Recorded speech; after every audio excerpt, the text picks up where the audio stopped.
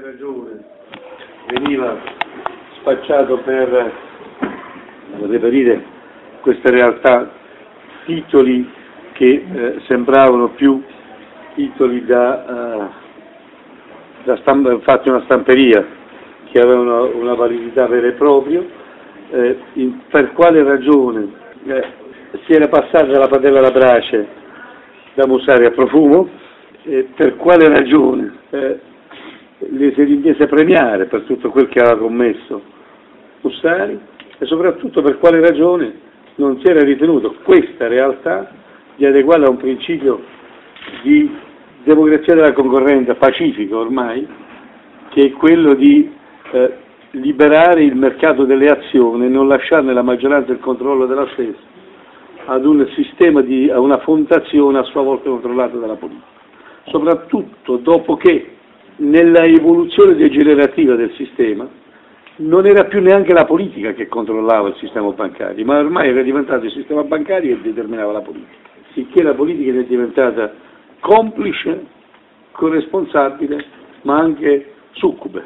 Se si voleva fare strada e avere successo politico qui, bisognava passare anche attraverso questo sistema e viceversa, fino ad arrivare al punto dell'assurdo che nella contrattazione dei, degli emolumenti da dare ai, ai, ai, dirigenti bancari bisognava anche stabilire quando di ritorno devono andare ai partiti. Eh, oggi siamo in una fase in cui è bene che lo Stato intervenga e intervenga sia con il controllo della Banca d'Italia sia direttamente. Ripeto, lo poteva fare l'anno scorso e per questo io ritengo corresponsabile certamente politico, ma anche sul piano etico, visto che lui fa un professore e che dice che capisce tutto lui, eh, il governo Monti lo ritengo corresponsabile perché sia per azione omissiva sia per eh, azione attiva. Omissiva perché avvisato non ha agito, commissiva perché avvisato che non doveva, doveva revocare quell'assegnazione di 2 miliardi dato al buio in quel modo, gliene ha dati altri due. Anche oggi in realtà, mentre stiamo parlando, si sta verificando qualcosa di anomalo in Commissione perché Grilli sta dicendo che in realtà non si tratta di un, um, di, di un, di, di un prestito grazioso, ma di un prestito uh, che sarà restituito con un'altra tassazione al 9% vuoi fare pure al 99%, il problema è vedere se questo ha i soldi per i tagli, perché finora eh, quel che a noi interessa eh, è soprattutto che cosa succeda ai, agli azionisti. L'altro ieri io stavo in, vi racconto questo fatto e poi vi lascio alle vostre domande, l'altro ieri io stavo alla, in Svizzera, stavo a eh, Zurigo ad aprire la campagna elettorale, c'era un signore che mi voleva parlare con le lacrime agli occhi ed era un lavoratore con la sua famiglia che aveva investito 250.000 euro, tutti i soldi di una vita, perché doveva poi un giorno comprarsi una casa, l'aveva investito in Monte Pasesi. Nazione, nazione Monte Paschi. Monte, Monte Paschi. Tut, tutte, tutte nazioni Monte Paschi. Il risultato è stato che lui dice, ma che ogni giorno 8% in meno, 8% in meno, io già, che ci faccio? Che cosa devo fare? Che cosa mi consigli di fare? Eh, comprati un paio di manette, un po' vieni con me, io mi avrei venuto voglia di dire.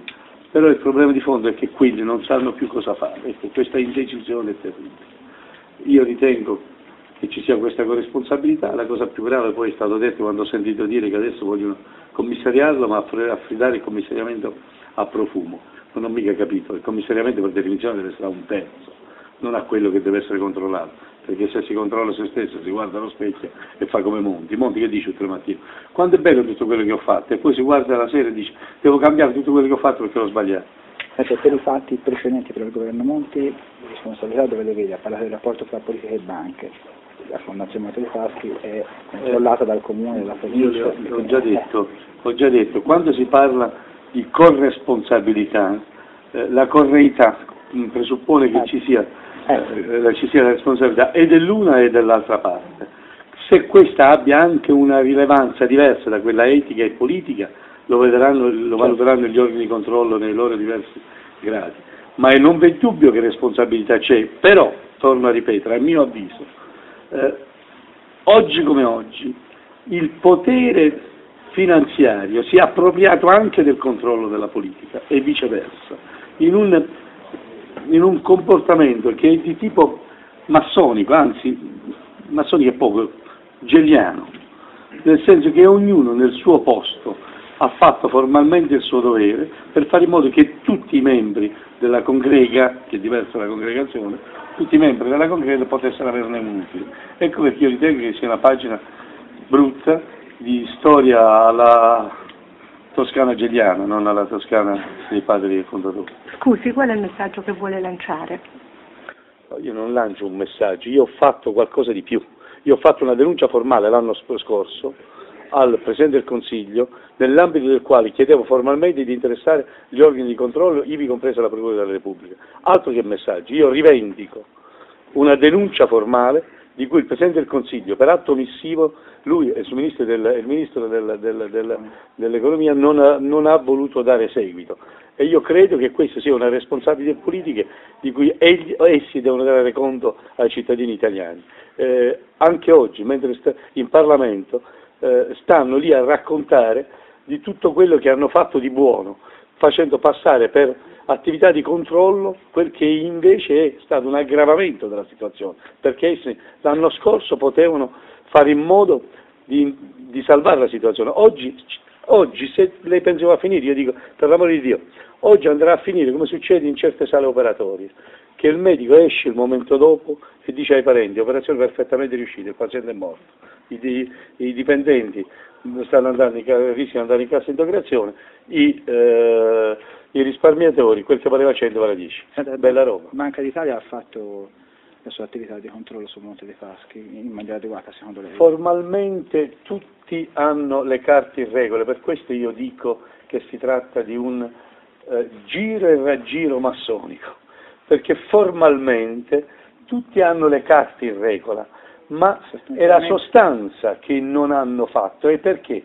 Non perché sono stati inesperti, non perché sono stati incapaci, ma perché ognuno aveva un interesse particolare a che ciò avvenisse, per intenderci. Ma Mussari, chi l'ha fatto presidente dell'ABI? Io. E se è stato fatto presidente dell'ABI vuol dire che c'è un circuito di, di, di controllo di relazioni e di interrelazioni. Per cui Mussari rappresentava la garanzia al sistema bancario verso il sistema politico e, e viceversa.